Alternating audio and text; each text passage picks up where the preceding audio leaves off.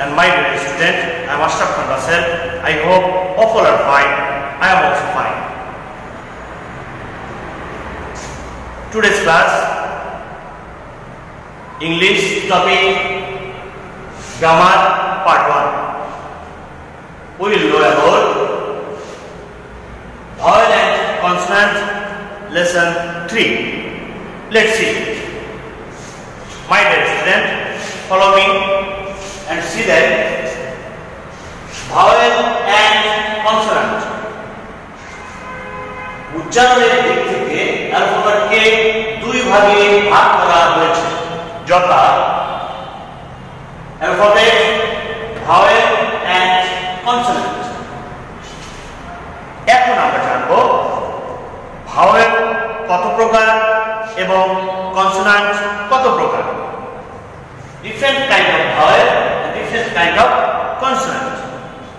Vowel A, E, I, O, U. That means five vowels. And consonant B, C, D, F,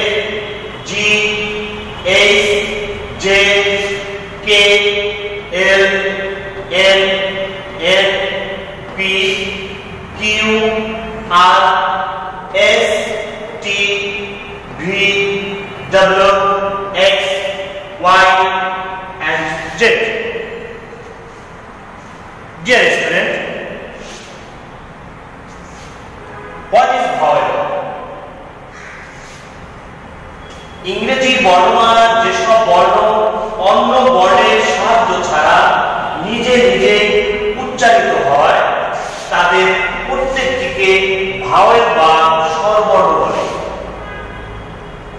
letters which are pronounced itself without any barrier of vocal cavity are called vowel.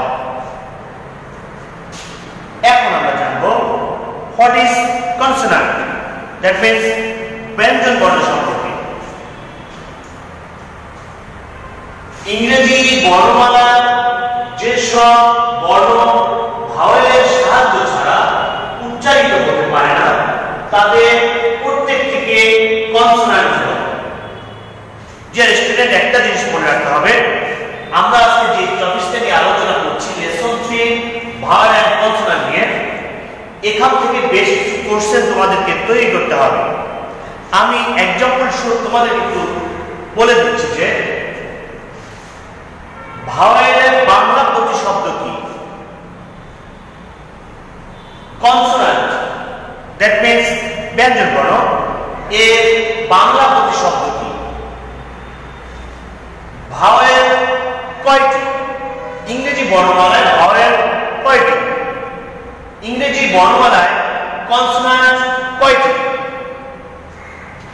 এই জিনিসগুলো আমরা যদি জানতে পারি, তাহলে এই টপিকসের সামনের যে বিষয়গুলো রয়েছে, আমরাও তা খুব সুন্দর এবং সহজে সেগুলো আমরা জানতে পারব এখন দেখো what is consonant the letters which are not pronounced without any barrier of vocal cavity are called consonant ইংরেজি বর্ণমালার যেসব বর্ণ ভাওয়ালের সাহায্য ছাড়া উচ্চারিত হতে পারে না, তাদের প্রত্যেকটিকে কনসোনান্ট বলে। তার মানে কনসোনান্ট দ্যাট মিন্স ব্যঞ্জন বর্ণ হচ্ছে এমন বর্ণ যা ভাওয়ালের হেল্প ছাড়া বা উইদাউট ভাওয়াল ছাড়া এটা কখনোই উচ্চারিত করতে পারে না। কিন্তু বিপরীতে ভাওয়াল নিজে নিজে দ্যাট মিন্স স্বরবর্ণ নিজে নিজেই উচ্চারণ হতে পারে এবং এটা এই লেটারগুলো উচ্চারণ করার সময় কণ্ঠের কোথাও কোনো বাধা সৃষ্টি হয় না কিন্তু বিপরীতে কনসোনান্ট উচ্চারণের সময় লেটারগুলো রয়েছে, এগুলো উচ্চারণের সময় কোথাও না কোথাও কণ্ঠে বাধা প্রাপ্ত হয়। যার কারণে ভাওয়ালের যে শব্দগুলো, লেটারগুলো রয়েছে, সেই লেটারের সাহায্যে কনসোনান্ট উচ্চারিত হয়ে থাকে।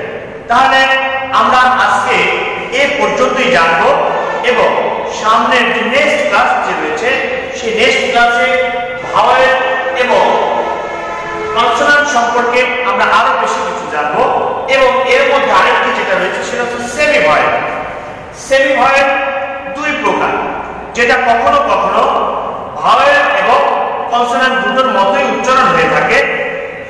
এই কারণে এদেরকে বলা হয় সেমি ভয়েল তাহলে আমরা আগামী ক্লাসে সেমি ভয়েল সহ এর সঙ্গে সম্পর্কযুক্ত যে বিষয়গুলো রয়েছে, আমরা সেগুলো জানব। তাহলে, প্রিয় শিক্ষার্থীরা, আজকে এ পর্যন্তই নেক্সট ক্লাসের জন্য আমরা প্রিপারেশন নেব এবং যেভাবে প্রশ্নগুলো ওইখান থেকে তৈরি করেছি। বাসায় বসে তোমাদের এক্সারসাইজও বেশ কিছু প্রশ্ন রয়েছে, এই প্রশ্নগুলো বাসায় হোমওয়ার্ক হিসেবে তোমরা দেখবে এবং আগামী ক্লাসে ওই কোশ্চেনগুলো নিয়ে আমরা আলোচনা করব।